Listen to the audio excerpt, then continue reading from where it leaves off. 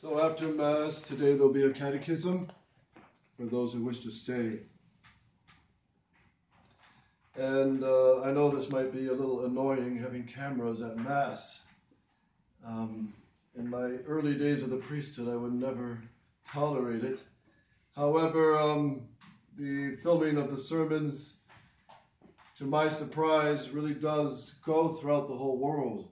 And many souls who are thirsting for the Catholic truth thirsting for the catechism, thirsting for just hearing Catholic teaching that does benefit their souls. So if St. Paul would use the highways of Rome, which the apostles did, they traveled on the roads of Rome. And Rome built those long roads out of big, huge rocks and cobblestones, and they built the bridges. And many of these are still standing today. St. Paul used them, and all the apostles walked on these highways to preach the Catholic faith. So the uh, the new roads are the internet, and they are reaching many souls. So do bear with the uh, you know some, sometimes the inconvenience of cameras during the sermon, but I, I am convinced now that it does help many souls as long as we are preaching the Catholic truth and helping souls to heaven. So um, do pray for our seminary, which begins in a couple of weeks. We have a women's retreat coming in Kentucky, and then a men's retreat, and then the seminaries begin also with retreat. They come back to uh, boot camp to uh, concentrate in the, the, concentration camp of the seminary training. And uh, pray for these seminarians. God bless them for coming back. We are under severe persecution, under severe attack all the time. Ever, ever since the seminary started, it's it's it's not so bad being attacked by our enemies. That's to be a given. But when it's attacks from our friends, that's a little harder. But we don't we don't worry about pleasing the world. We are worried about pleasing God. We're worried about pleasing Jesus Christ the King and doing His will. And if that means standing alone with Him and the Blessed Mother at the foot of the cross on Calvary, being uh, hit with stones and spit well, that's where God wants us. And we're happy to be there as long as we're doing His will. How do we know we're doing His will? When we hold to the Catholic faith of all time. Not the new church, not the new Mass, the new sacraments, the new reforms of Vatican II, which are in a direct attack against our Lord Jesus Christ, but the faith of all time.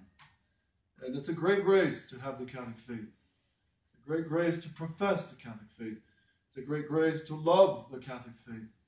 So um, do pray for the seminarians. You know, we um, we have asked our traditional bishops for holy oils to give to anoint you, who need to be baptized, who are dying and who are sick, and and we did not receive from our bishops holy oils. We have oils, of course, from the past and so forth, but so it's a it's a most cruel persecution when it comes from our own bishops.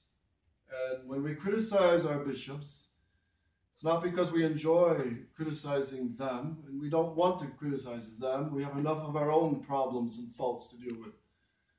But if a bishop or priest or even a pope goes against the Catholic faith or says things that harm souls, then we have, we have a duty before God to speak out.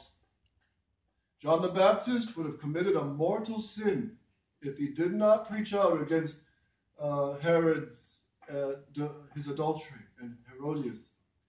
If he didn't preach out against it, he would be probably burning in hell, St. John the Baptist. He had a duty to preach the truth.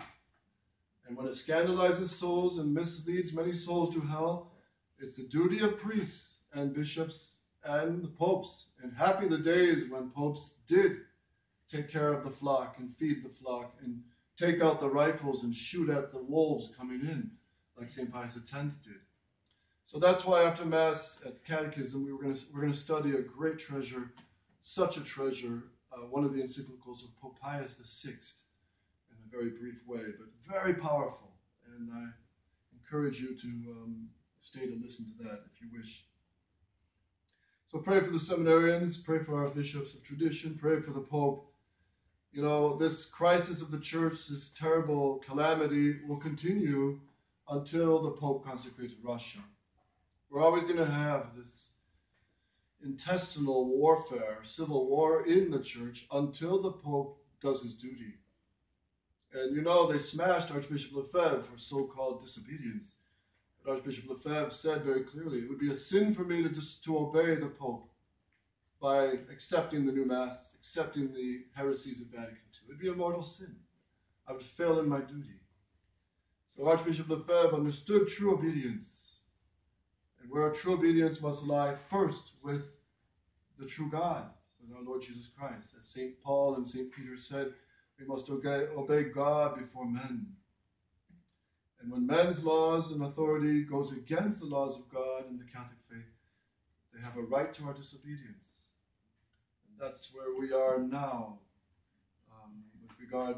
But you know, the, these modernist Vatican II popes, the last five of them, have been very quick to smash tradition, very swift to punish traditional priests and bishops, especially Archbishop Lefebvre. But when it came to them obeying the words of the Mother of God, who came down from heaven and spoke to three children, sealed it with many miracles, the biggest one being October 13th, 1917, uh, the miracle of the sun, witnessed by over 70 to 100,000 people, and miracles that happen. So, for the Pope to disobey the Mother of God is very serious, and we are suffering these disobediences of these popes. So keep praying, and we got to keep persevering. In the name of the Father, Son, and Holy Ghost. Amen.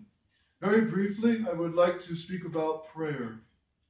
Because our Lord tells us in this gospel, you must love the Lord your God with all your heart, all your mind, all your soul. You must love our neighbor as ourselves for the love of God. And to have this supernatural love because it's not just a human love, it's a supernatural gift that God gives in baptism. And when a soul is in sanctifying grace, there is that supernatural charity which moves the soul to love God above all and love our neighbor for the love of God. And that's a gift. So it's a huge, huge world of difference between a natural love, which animals have when they wag their tail, a dog, for example, and the supernatural love that we are demanded to have. And but we must pray for this as well. We must pray to love God above all things. It's a grace we must pray for. And that is really the greatest treasure to ask for from, from the heart of the Blessed Trinity and from the Immaculate Heart of Mary is to love God with really with all our mind, with all our heart, with all our soul. And it's easy to say it, but to really love it is proven in our actions. If you love me, our Lord said, keep my commandments. Keep my commandments. So the commandments are the guideline. And many people we, we meet in the world, yeah, I love God. How many wives is this? My third wife. Yeah, but, you know, I still love God above all, but you're breaking his commandments. You can't live breaking his commandments. And so that's the proof if we love God. And so keeping his commandments, especially in today's world, where living in mortal sin is like is like the norm now. So we really have to live uh, aliens to this world. St. Benedict says that to his monks. You are like aliens on this earth, whose real home is in heaven. And we must not love this earth so much. We must not be too attached to it. Use it for what it's worth. Use it to get to heaven and uh, use the things of this world just for the means to go higher. So listen to these great words of a great Dominican father, a priest, whose name was Father William Peraldus. He was contemporary with St. Dominic, he preached many sermons on virtues and vices. He has this to say about prayer, and it's so valuable, I cannot improve on it, so I'm just going to read it but draw the ears of your heart to these great words. Commenting on the text, let my prayer come before you, which it says in the Psalms. St. Augustine says about prayer, the prayer of pure, the prayer, the power of pure prayer is remarkable. It goes into God as if it were a living person and fulfills its mission where flesh is unable to go. So when little Jonah's here, who's seven, when he prays to God with all his heart, it's as if Jonas went before the very throne of the Blessed Trinity. And God hears the prayer from his little mouth, from his little heart, as if he was right there before his throne. That's the power of prayer, says St. Augustine. And St. Gregory says, the power of prayer is enormous. When it is poured out on earth, it achieves great results in heaven. And though it is more blessed to give than to receive, nevertheless it is more appropriate to the state we are in now to ask than to give. Because we have nothing here except what we have received from elsewhere. As it says in 1 Corinthians 4, What do you have that you have not received? Accordingly, we shall concentrate on that prayer which wins for us what we need, demonstrating first of all why everyone ought to be happy to learn how to do this work, to pray. And then showing how our supreme teacher taught us how to pray. So now he goes through six reasons. I'll read a few of them. Notice then that there are six reasons we can give why everyone ought to be glad to learn how to pray. The first is that our great teacher, capital T, our Lord, whose throne is in heaven, wanted to teach it to us with particular care. It is unlikely that he would be content for us to learn carelessly what he taught so carefully. It is a disgrace if Christ's disciples have no knowledge of something which their master taught with exceptional diligence. He taught it first of all by his example. And we read several times in the gospel. For example, St. Matthew chapter 14, verse 23. After he had dismissed the crowds, he went up into the mountain to pray alone. And when it was evening, he was there on his own. And in Luke 22, 44, we read that being in agony, he prayed all the longer. And sometimes our Lord spent the whole night in prayer. It was not that he needed prayer for his own sake, because he could do whatever he wanted with just a word. He did it to give us an example of how willing we should be to pray. And you can pray anytime, anywhere, when you're working, when you're sleeping, even. St. Gertrude, before she would go to bed, she would say, Lord, I offer you every heartbeat of my heart, every breath that I take tonight, because I'm going to be unconscious. I'll be out of out in La La Land. But I, I want to give you every breath and heartbeat as if it was an act of love for you. And our Lord told her, Gertrude, this pleased me so much because I take your desires for real. Our Lord also taught in words, showing what we what we should pray for. And there he, he taught the Lord's Prayer, the Pater Noster, the Our Father. And also in some place showing them where they should pray. Our Lord said, When you pray, go into your chamber and shut the door, and there pray to your Father in secret. He also showed that when we should pray, namely, always. always. Keep vigil at all times, praying, so that you may be found worthy to escape from all these things which are to come. Our Lord also showed how we should how we should pray. We should pray devoutly, concisely, humbly, and with perseverance. For the first point, devoutly.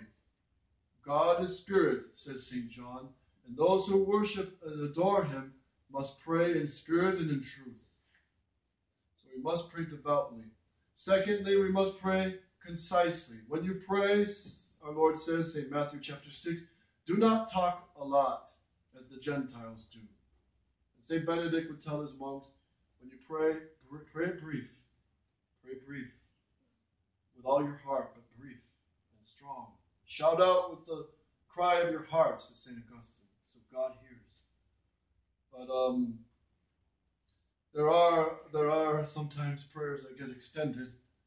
Um, um, I know one one young man visited a family and they prayed the rosary, and they prayed the litany of the Sacred Heart, and he thought, okay, that's great, another prayer. Then they prayed the Litany of the Virgin Mary. And they thought, well, this is getting a little long. Then they prayed the Litany of the St. Joseph. Then the 15 St. Bridget prayers. And then the, and after an hour and a half or two hours, he was very prayed out. It was good for him. Um, and that was a good practice of the family. But for children, you're going to lose most of your children, and prayer will become a burden if it's just too prolonged. So you want to keep prayer good and brief. So the, the common good practice is five decades of the rosary, or some families will do the full three rosaries, and without many more prayers added to it. And that's a good thing to do because prayer is brief, or we are more attentive to it. Um, Blessed Jordan of Saxony, another great Dominican who knew St. Dominic, when he was asked by a monk, So, what should I do more, pray or do study? St. Saint Blessed Jordan of Saxony, he said, Well, what do you do when you eat? Said, Well, when we eat, we have the meal and we take wine with it, or water. We drink and eat at the same time together. And that's so so blessed Jordan said that's what you should do. Prayer is like drinking good wine. And study, spiritual reading is like eating. So join the two. When you pray, do spiritual reading. When you do spiritual reading, pray and mix the two throughout the day. And that's a good practice. So when you pray, do not be like the hypocrites, where the point where the point is touched on in the parable about the publican and the Pharisee. And then we must pray humbly with great humility of heart and repentance. And fourthly, we must pray with perseverance. When he talks about the unjust judge who did not fear God or respect man, but who all the same gave judgment for the widow because she bothered him so much. Similarly, in Luke chapter 11, if, if your friend goes on knocking, I tell you, even if the man will not give him what he wants because he is his friend, he will still get up and give to him because of his persistence. And our Lord loves to be bothered by us. He loves to be worried by us. And the Blessed Mother loves us to pull her mantle almost constantly. God loves to be bothered by us, and He wants that. That's why he says, pray with perseverance. And we have so many examples of the fruit of this. St. Monica, who prayed 30 years for her wayward son. And God heard her prayers, and her son became the great St. Augustine, right? The second reason for why we must be eager to know how to pray is that if prayer is properly done, it is a present which God particularly welcomes and which deserves the service of angels. Listen to this. We read in the book of Tobias, chapter 12, and remember the Protestants ripped out the book of Tobias. The angel says, When you were praying with tears, Tobias, and burying the dead, I presented your prayer to the Lord. So when you pray, that's we don't have any gift to give God, but the prayer we can give, prayer is that gift we can give Him. And the highest and most powerful and most beautiful and pleasing prayer to God is the Mass, because it's the heart of Jesus Christ the King offered to the Father. No man ought to find it a nuisance to give God a gift, which even an angel finds it no nuisance to present to God. And this is not all. Christ himself presents it to God the Father. He gives him our prayers, because he is the high priest in his humanity. This is symbolized in the way the deacon hands the thurible to the priest at the high mass, and the priest then offers incense to God. In a similar way, Christ presents the prayers of the church to God, the Father, and this makes them extremely powerful. For how could God make light of something which present, is presented to him by so great a mediator? So that's why Mother Church, you notice how she always ends her prayers. Per Dominum nostrum Jesum Christum. Per Christum Dominum nostrum. Always to our Lord Jesus Christ. And that's what makes prayer powerful before the throne of God. The third reason why we must learn and love to learn to pray is that prayer is so easy. If you tell someone to give alms, he can excuse himself because people do not always have any money in their wallet. It is the same if you tell someone to fast, because many people cannot fast because their heads are too weak. But no one can excuse himself from praying. No one. Anybody can pray, at least in his mind, even if he is dumb or can't speak. So David says, In me there is a prayer, and on the righteous man has pity and will lend. And the commentary says, The righteous man always has something to give, at least he has prayer. So when you when people ask for something from you, beg beg of you for some money, and your wallet is empty, you have nothing, pray for them. Give something, a cheerful word, says St. Augustine, says St. Gregory.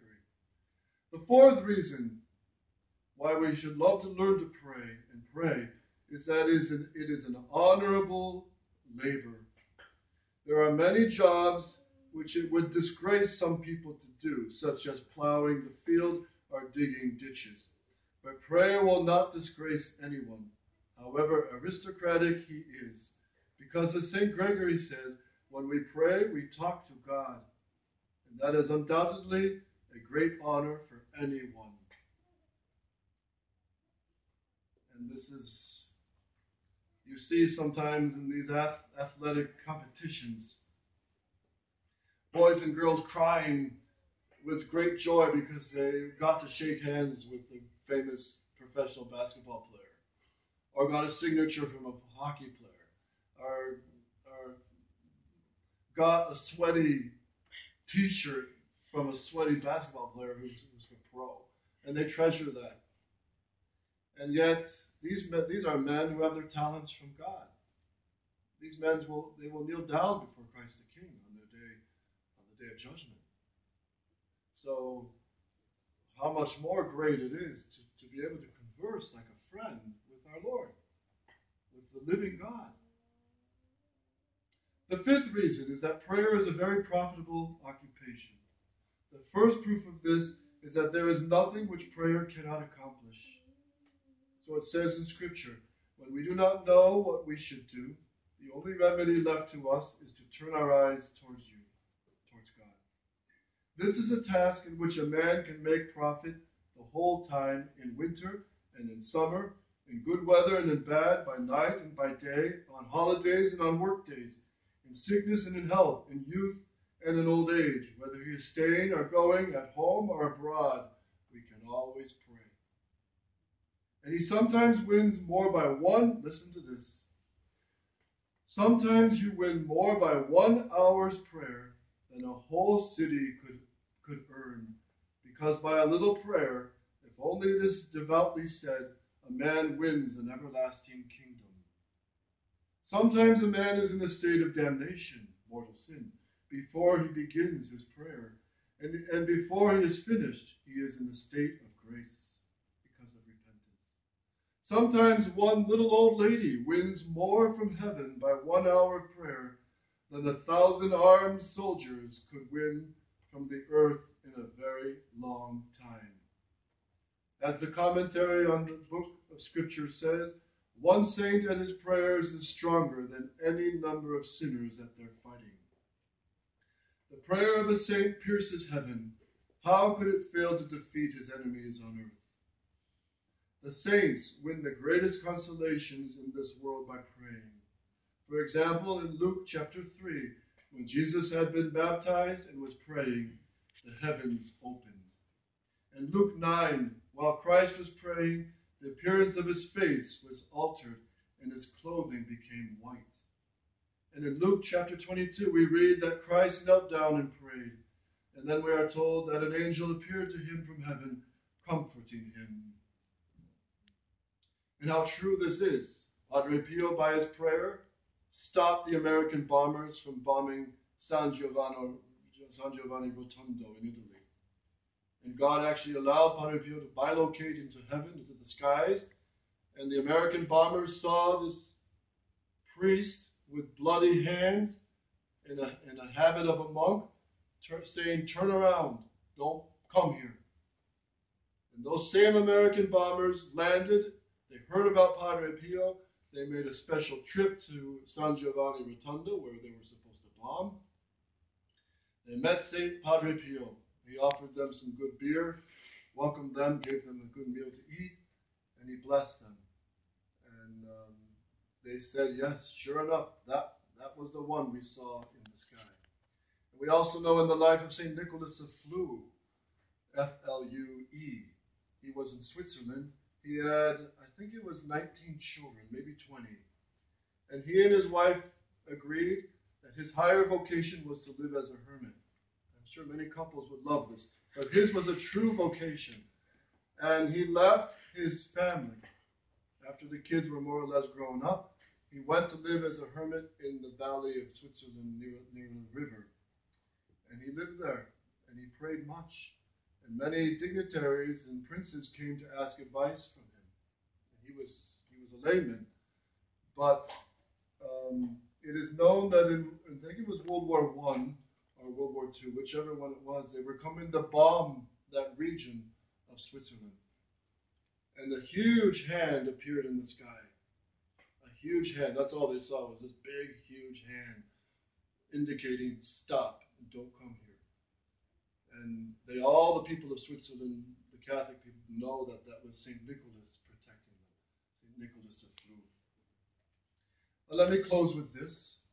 The sixth reason is the great need we have to pray in this present time on earth. There are three things in general which force people to cry out fire, flood, and enemies.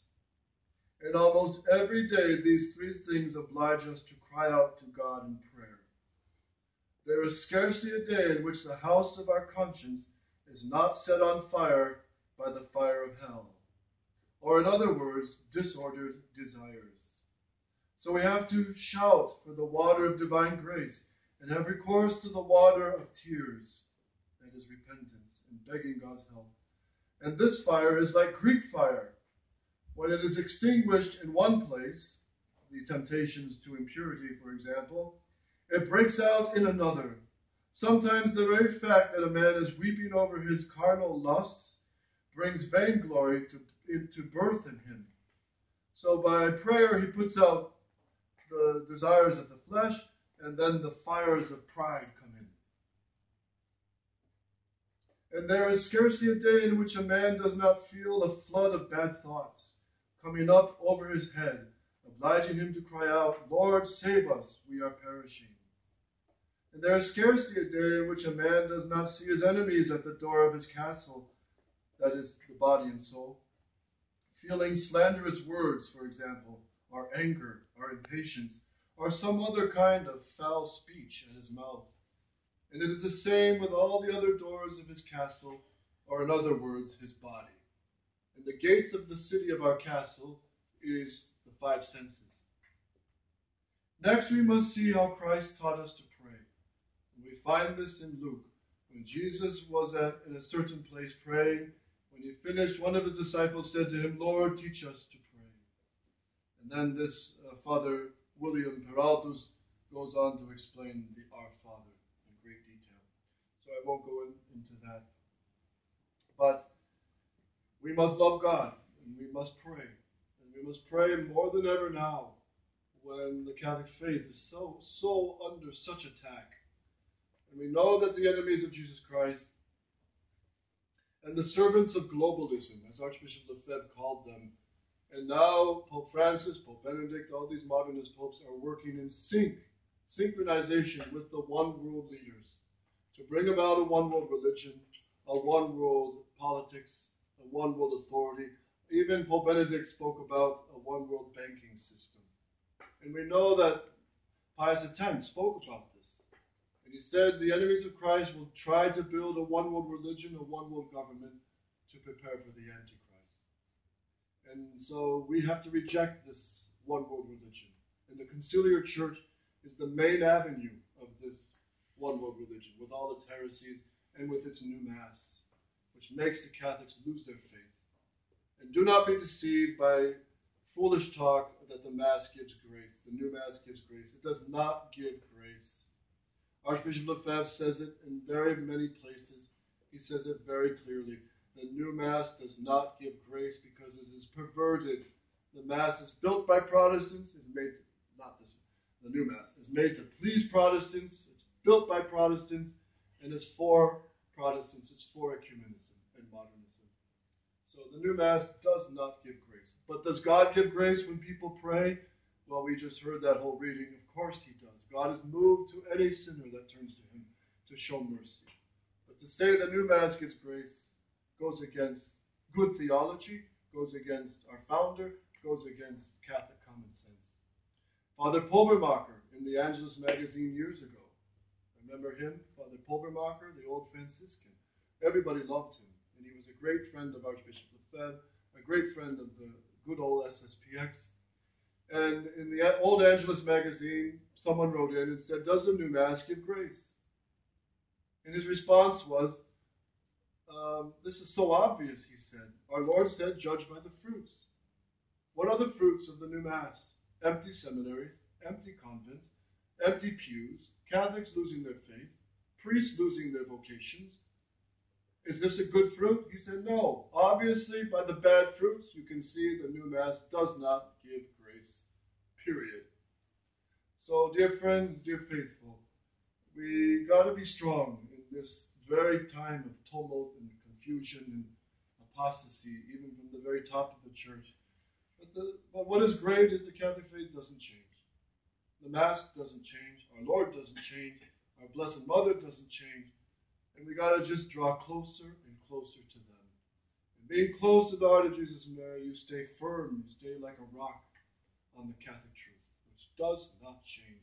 Jesus Christ is same, yesterday, today, and forever.